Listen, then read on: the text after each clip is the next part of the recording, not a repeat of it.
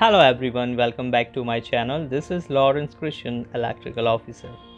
I hope you all are doing good. Today we will see how to renew S-band radar magnetron. As you know, radar is a detection system that uses radio waves to determine the distance, angle or velocity of the objects.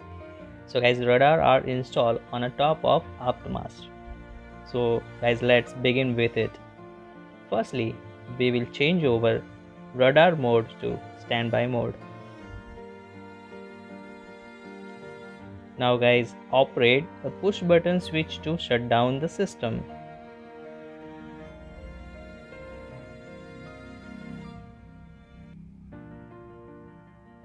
Now turn off the main switch for S-band radar.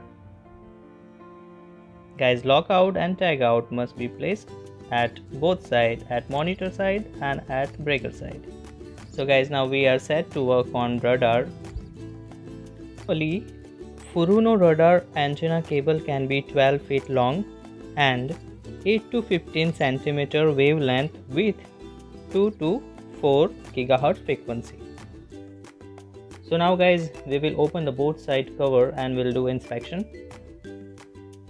So guys, check for any water leakage, check for any cable loose connection, retight the all cable connection, check scanner motor and brushes and clean inside the area. After all inspection, please put it back. So guys, now we will open the magnetic side and cover Remove all securing screw of cover and disconnect the cable connectors and don't forget to do marking. While taking out cats needs to be taken.